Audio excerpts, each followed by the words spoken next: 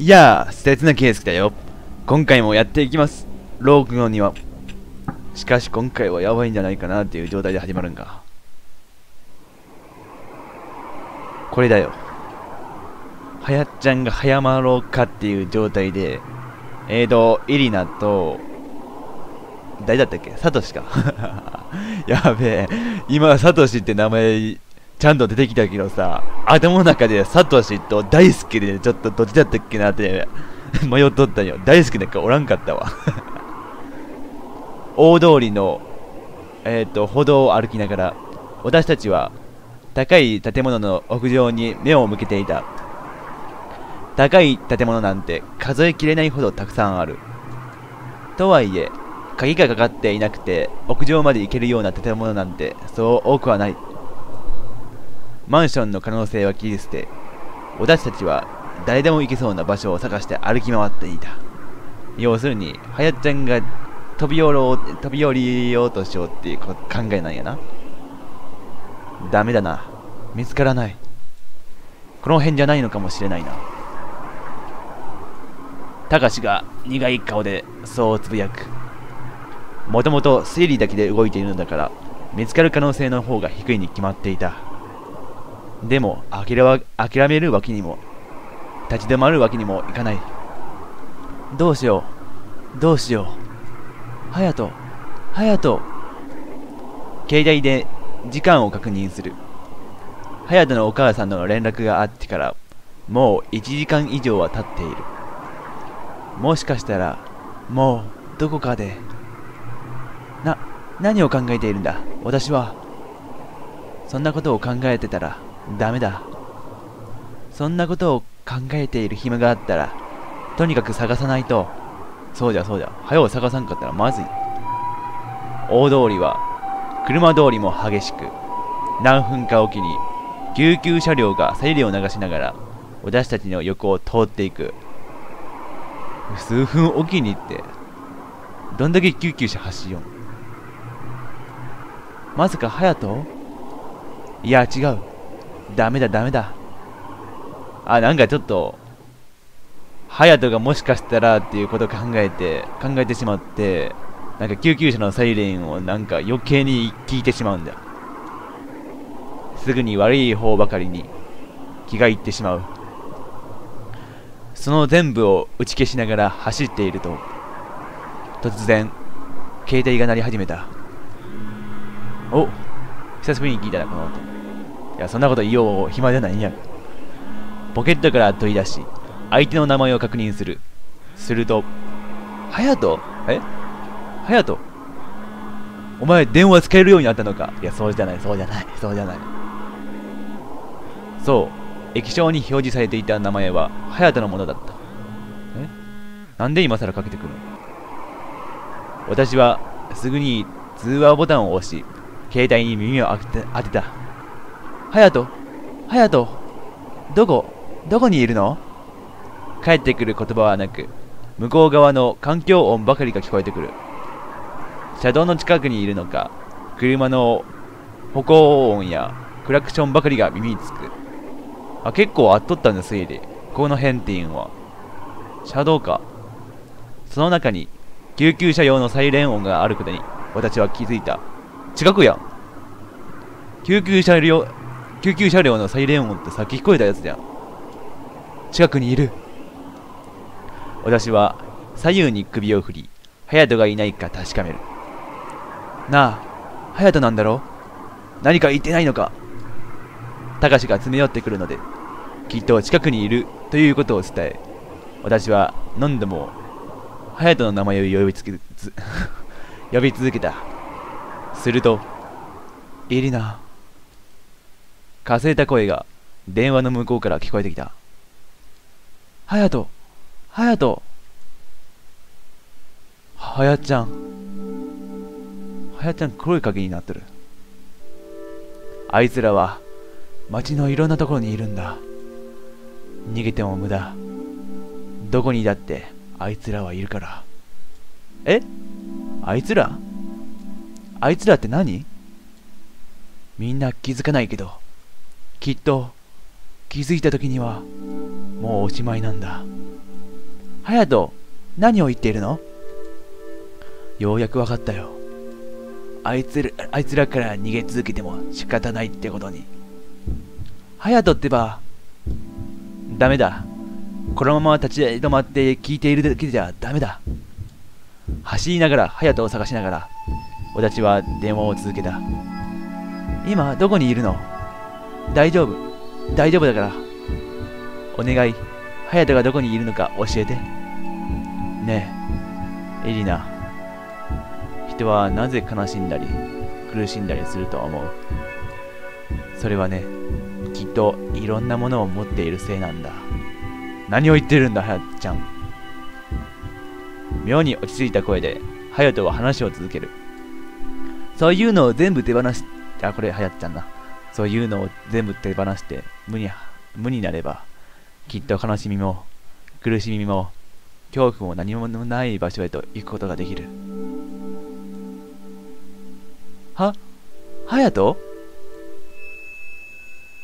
だから、俺は行くね。え？ダメー！え？どうなる？え？え？っちゃグロいやん。嘘はやちゃん、何しょんいろんな音が聞こえてくる。それは、電話を下しても止まらない。そう離れていない場所で、車が車がぶつかる音がして、クラクションが鳴り響き、大勢の人の叫び声や悲鳴が聞こえてきた。歩道橋から人が落ちて落ちたらしいぞ。遠くから後もなく、そんな言葉が聞こえてくる。う、嘘だろ。は、隼人なのか？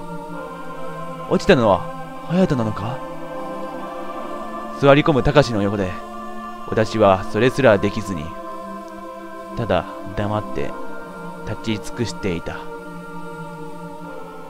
はやちゃん。ええー。隼人が歩道橋から飛び降り自殺してから早2週間。2週間もう経った。事態は収集へと、収束へと向かっていた。とはいえ、クラスメイトが負った心の傷は深く、休み時間だというのに、教室は随分と静かなものだった。そりゃそうやで。はやっちゃんがムードメーカーだったんだろう。えー、はやっちゃん。ようあるようなホラーって、なんか一番いいやつが一番最初に亡くなってしまうっていう。ハヤトはクラスの中心だったから、こうなってしまうのは、至極当然のことだと思う。そうやで。今でも隼人のことを思い出しては、急に泣いてしまうクラスメイトもいた。はやちゃん人気者やもんな。感覚が麻痺してしまっているのか、私は随分と落ち着いている。隼人が死んでから泣いて泣いて泣き続け、どこかがおかしくなってしまったのかもしれない。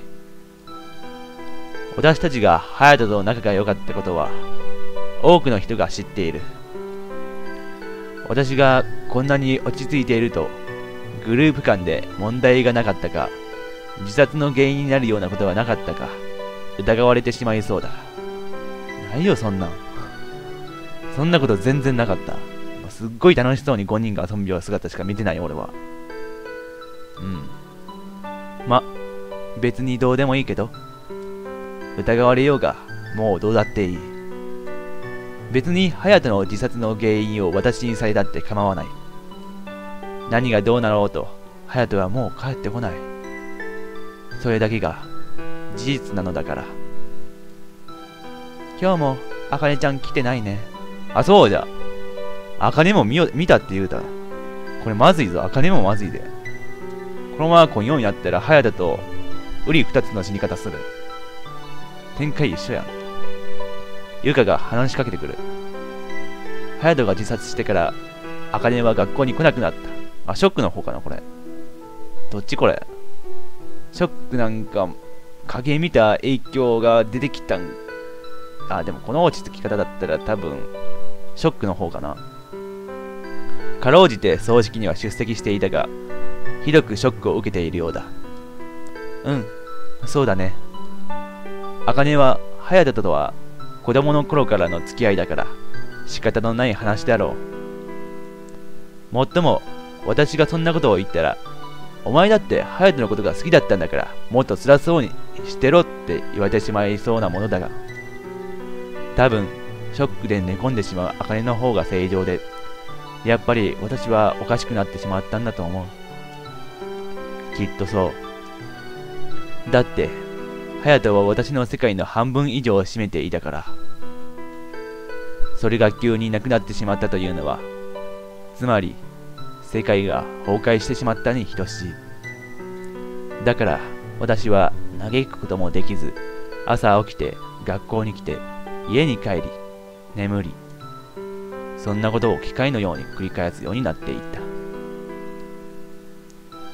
教室の後ろの方では、今日も高志が頭を抱えるようにして、誰とも話さずにうつむいている。俺があの場所に行こう、なんて言わなければ、こんなことにはならなかったんだ。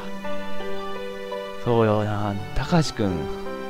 高志が選んでしまったもんな。悪いってわけじゃないんやけど、そりゃ責任を負ってしまうよな。葬式の帰り道、高志はそう言って泣いていた。誰も高志のせいだとは思っていないが、高志はそれでも毎日自分を責め続けている。そうよな。やべえ、今回ボケれる気がしない。もうそういうそういう雰囲気じゃないもん。ボケれない。今は声をかけても逆に落ち込ませるような気がして、私も、ゆかも話しかけずにいた。そういえば、一つ分かったことがある。何？隼人がおかしくなってしまった日の話だ。私たちはあの肝試しの日が始まりだと思っていたが、そうではなく、隼人がおかしくなったのは翌日の日曜、どこかから帰宅した後だったという。あ、そうなんえー、嘘、そうなん そんなことしか言えんけど、マジでってことは、全然高し、高しのせいちゃうで。だとしたら、あかねがなんかそういう症状が出んのも納得いくもんな。その日、家を出るまでの隼人は普段通りだったと、隼人の家族は言っている。じゃあ隼人どこ行ったてかなんで行ったん出かけている間に何かがあった。普通に考えればそうなる。もしかしたら心霊スポットに行ったことと、隼人の自殺は関係ないのかもしれない。うん。原因は別にあるのかもしれない。でも、やっぱり無関係とは思えなかった。え、どっちやねん。えー、ちょっとは関係あるけど、直接的なもんではないみたいな、なん、なんなんそれ。ちょっとこの辺でちょっと整理してみよう。なんかね、はやちゃんが死ぬ間際になんか言おったんよね。あのー、なんだろう。何もない世界に、ね、行きたい的な、もう全然俺 全然俺、覚えてないけど、そんなこと言おった。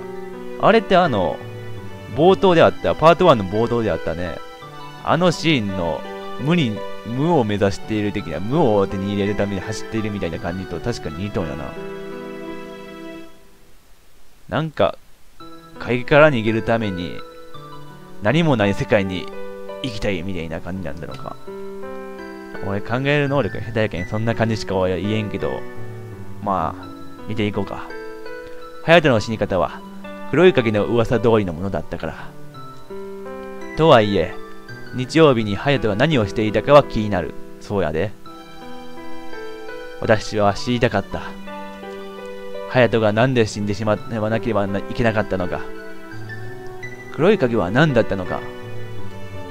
とにかく何でもいいから、隼人のことを知りたかった。そうじゃなきゃ、彼の死を受け入れることがいつまでたってもできない。そんな気がしていた。たかし、隼人が日曜日何していたか知らない？昼休み、教室の後ろでつ、つ、つ、スーしている高橋に話しかける。読めない。日曜日？あの心霊スポットに行った日の日曜日。そんなことを知ってどうするんだ？知りたいの。あの日、隼人が何をしていたか。高橋は悲しそうな顔で唇を噛みしめた。え？え、高橋知っとんか？日曜、隼人と高橋全然会ってないし、知らんだろ。そんなこと知っても何もならないだろ。てか知っとんかよ。分かってる。でも、それでも何でもいいから、知ってることがあったら教えて。なんだ？少し、語気って読むか？を荒げたせいか、高志はビクッと肩を揺らし、それから何かを考えるように視線をそらした。そういえば、前の日の土曜日の夜なんだけど、ん？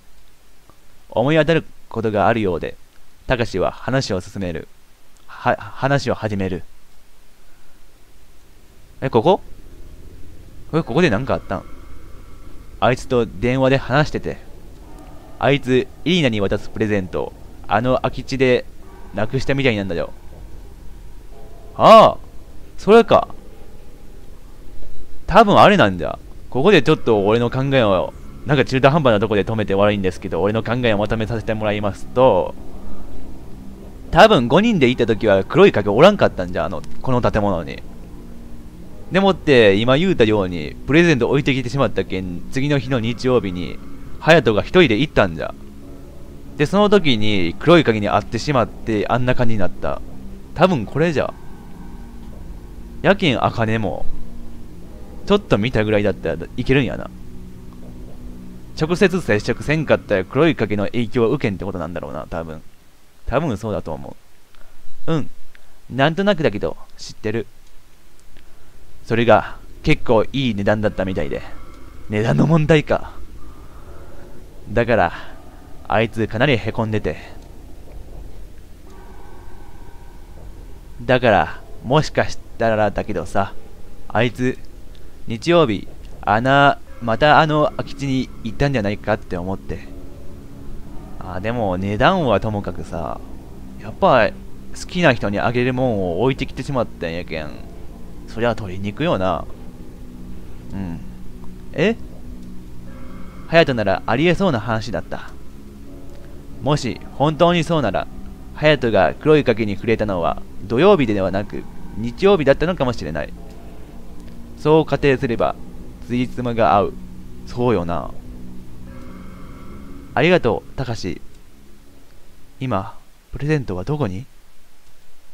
家に持ち帰ってるのだとしたら、きっと隼人の部屋の中にあるはず。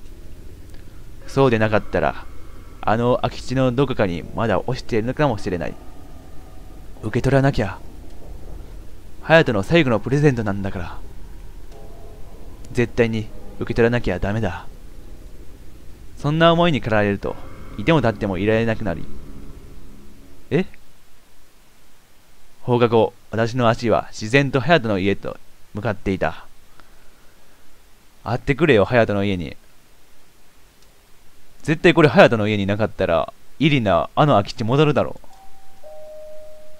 隼人の家に到着した私は、インターホンを押し、お線香をあげに来たと伝え、家の中に入れてもらった。ありがとうね、エリナちゃん。お母さんの顔は、ひどくつれ疲れ切っていた。前にお邪魔した時と、家の中は何も変わらないのに、どこか暗く、重たい空気が漂う。そりゃそうやで。自分の息子が死んだんやけん、そりゃ、そう。しかも自殺って、なぜかわからんのに自殺って。そりゃそうなるわ。もしよかったら、部屋との部屋見せてもらえませんか？私がそう言うと、お母さんは、あ、これ今の、はい、今のお母さんの声じゃなかったんだ。私の、私がそう言うと、お母さんは、なんでもう、承諾でいいと思うのに、快諾みたいな感じになってる。快諾してくれた。まあ、それだけお母さんは、どうぞどうぞ見ていってくださいみたいな感じだったんだろうか。悲しみながらも。お母さんに案内され、2階にある隼人の部屋に入る。部屋は散らかっていた。ごめんなさいね。あの子が悩んでいたんじゃないかって。だから部屋の中をいろいろ探してみたの。何かありましたか？私がそう尋ねると、お母さんは辛そうに顔を歪めた。な、何もなかったわ。何？嘘隼人持って帰らずに帰ってきてしまったんじゃ。え？まずいで。そんなことしたら、イリナい、空き地戻るし。絶対戻るやん、これ。あかんで。明らかに嘘を、あ、嘘ついとるえ？嘘をついているのがわかる。そんな言い方。え？何かあったんだ。それを教えてくれないのは、どういうわけだろう。嘘。え？そん、嘘つく必要なんかないだろ、これ。へえ。私に見せることに対して、後ろめたいことでもあるのだろうか。もしくは逆に私を気遣ってくれているのかもしれない。紙袋はありませんでしたか？素直にそう聞くと、お母さんは不思議そうに首を傾ける。そういうのはなかったと思うけど。その表情からして嘘をついている感じはなかった。ええー、確かに持ってない、持って帰ってきてないんじゃ。いいねのプレゼントは。その代わりなんか、見せたらあかんようなものを持って帰ってきてしまった的な。なんだ？そうですか。ざっと見渡す限り、確かにあの紙袋はどこにもない。隼人が手に下げていた袋がどんなものだったかは、まだちゃんと覚えている。もしかしたら、お母さんも見逃している可能性もある。何度か理由をつけて、この部屋の中を探したかった。そう思うと、自然に声が出た。私、隼人のことが好きでした。ええ、あの子もイリナちゃんのことがきっと好きだったと思うわ。そう言いながらお母さんは泣き始めてしまう。